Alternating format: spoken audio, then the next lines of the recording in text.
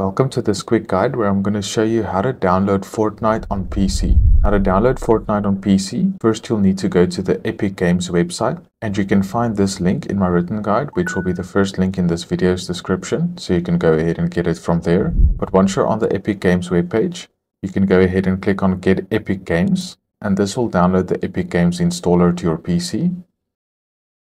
Once that's done, just click on Open File to open the Epic installer if you want to install Epic Games to a different path on your computer, you can go ahead and click on change, but for most of us the default will be fine, so just go ahead and click on install. Once Epic Games is installed, it'll do some updates.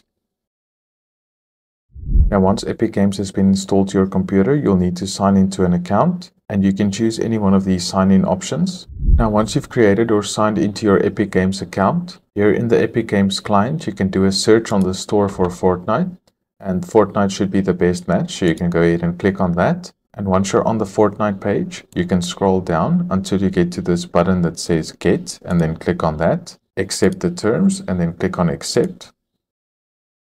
And here you'll just need to complete the order for Fortnite. It is a free game, so you won't be charged anything and then you can just go ahead and click on place order to finish it. Then select this checkbox and click on accept. Next, you'll need to choose an install location where you want to install Fortnite. If you want to change any of these options, you can just go ahead and use these buttons. I'll leave everything on default and just click on install. And here we can click on view in library. And if I go to the Epic Games library, here I can see that Fortnite is now busy downloading and installing and you'll just need to wait for this to finish. And once it's finished, you can go ahead and click on it to launch Fortnite, and then you'll be able to start playing Fortnite on PC. I do hope this guide helped you out. Please like the video and watch any of my other helpful guides on this channel, and I'll see you in the next one.